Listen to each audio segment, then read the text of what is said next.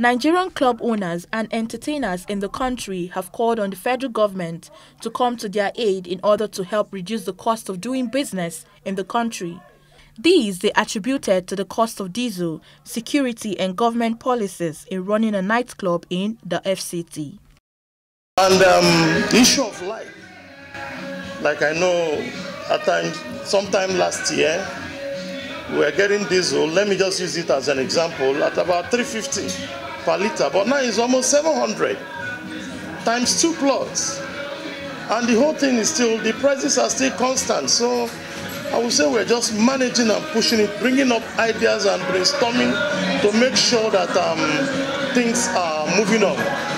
We never say die.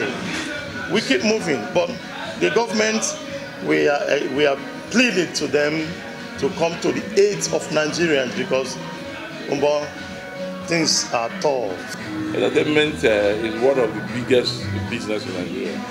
If you know what you're doing in it, yeah. a lot of money are in there, but you have to be very dedicated and sincere to yourself.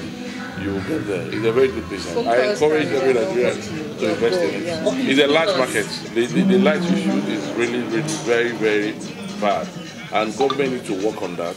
They need to make sure that we, the businessmen, are having all these things, uh, social amenities and necessary amenities ready for us to do our business. Because without light, this business is very difficult for you to run it. Because right now, the diesel cost is very high. If you depend on diesel in this business, you might end up running out of funds.